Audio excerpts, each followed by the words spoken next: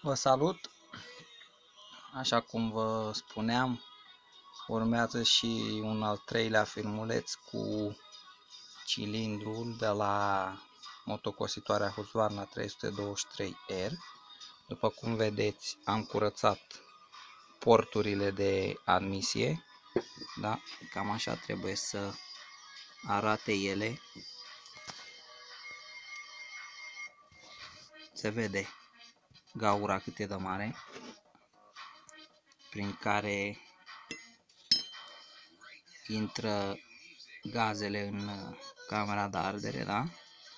Vedeți? Dacă în clipul anterior nu puteam să vedem nimic aici pe o parte, fiind complet înfundat, acum se vede destul de clar, da? Șurubelnița și vedem și pe partea cealaltă cel de-al doilea port, da? La care am, uh, am pus capacul. Am fixat doar în două șuruburi. Da? Putem să vedem aici pe margine garnituria, garnitura asta de cauciuc pentru etanșare. Este în stare bună, nu are probleme. Acum urmează să să pun capacele, să le strâng, să asamblez cositoarea și să vedem dacă funcționează. Am aici ambielajul, i-am curățat și pistonul câtuși de cât, l-am curățat cu un vârf de cater, dacă vedeți grieturile astea pe el nu vă speriați, că nu sunt uh, în profunzime, ca să zic așa, ci sunt doar de suprafață. Pistonul fiind de aluminiu, se zgârie foarte ușor. Am curățat și sus, cât am putut de bine, l-am spălat cu benzină. Aici jos nu, nu l-am mai curățat, că nu are rost. Da? Asta este ambielajul și aici avem carterul. Da? Am curățat și pe el. În clipul anterior se putea vedea că era murdar.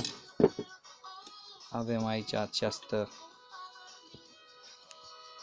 piesă din plastic, nu știu exact cum se numește, prin care gazele, după ce au intrat în carter, adică aici, intră pe canalele astea două, da?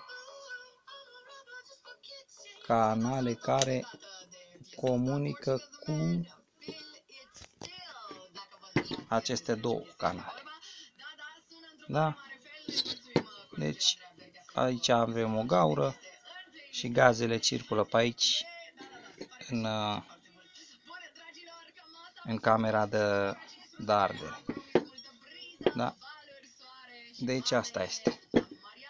Acum nu o să mai filmez cât o asamblez pentru că ar însemna să fie un clip cât lung cât o zi de post. O să mă opresc aici și o să filmez în momentul în care o pornesc, să vedem și să auzim cum se aude și motorul. Deocamdată închei aici și până la următorul clip vă spun la revedere.